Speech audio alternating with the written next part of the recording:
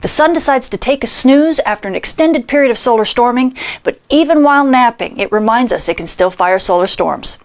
Those stories and more in the news this week. The space weather has finally calmed down after an extended period of storming about 10 days ago. Things keep getting quieter and quieter. We had region 2653 that fired off a solar storm. It looked like it was going to be Earth directed, but it's actually grazing us off to the west. So it's not going to disturb us nearly as much. So things continue to be pretty quiet. And as we look at the rest of the sun, we don't have any, any coronal holes or any fast wind that's coming soon and no other solar storms. And it looks like it's probably going to stay that way for the next 10 days. Switching to your M-flare threat meter, you can see we still remain extremely low when it comes to flares. The last time we even had a C-class flare was back on the 22nd. Since then, things continue to just stumble and bumble along. We're well below the C floor. The solar flux continues to be low. This means amateur radio propagation is pretty marginal, and this trend will continue easily through the next week. Switching to our solar storm conditions, you can see the last time we actually were at storm levels was back around the 19th, and we continued storming even to moderate levels until about the 25th, where things began to calm down and calm down. And since then, we're kind of been feeling the reprieve. Thank goodness everybody's kind of relaxing now. We're all sitting at unsettled conditions, and this will continue easily through the next week. So what else does the sun have in store for us this week? Well, this is STEREO A. It's our backside monitor. You can see here's Earth, here's the sun, and here's STEREO A staring at the sun from behind. And what you can see immediately is that the backside is a lot busier than the front side. We have two coronal holes that you can see on the backside.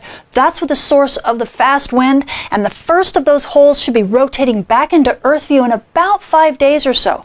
Then it has to rotate into the Earth strike zone so that fast wind can actually hit Earth, and that should be happening in about two weeks.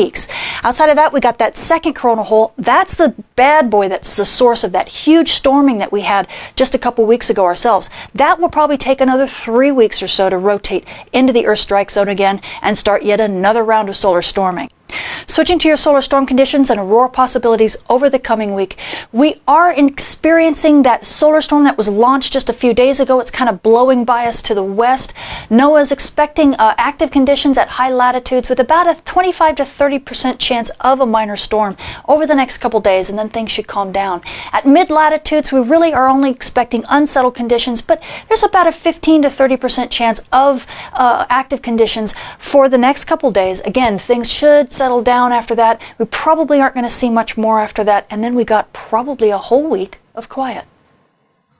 Switching to your solar flare and particle radiation storm outlook over the coming week, pretty much everything is once again in the green when it comes to solar flares. We have region 2654 that we're watching just a little bit, but it's pretty much just popping and fizzing and not giving us all that much. So that's good news for you amateur radio operators and GPS operators. We're not expecting any radio blackouts anytime soon, but the trade-off, of course, is that we're having a marginal levels of solar flux, which affects radio propagation for you uh, ham radio ops.